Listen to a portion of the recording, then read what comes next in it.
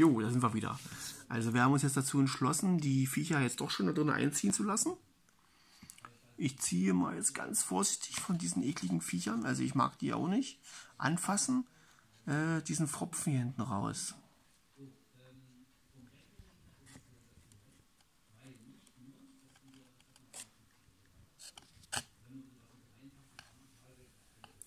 Eine Operation. Weh, die springen mich jetzt an und beißen.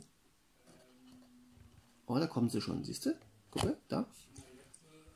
Hey, die ist größer, hast du das gesehen? Das könnte, äh, das ist doch garantiert nicht die Königin. Guck mal da. Krabbelt's da auch? Oder sind die, sind die tot hier? Scheinbar sind die tot. Ja. Nee, die zappelt noch.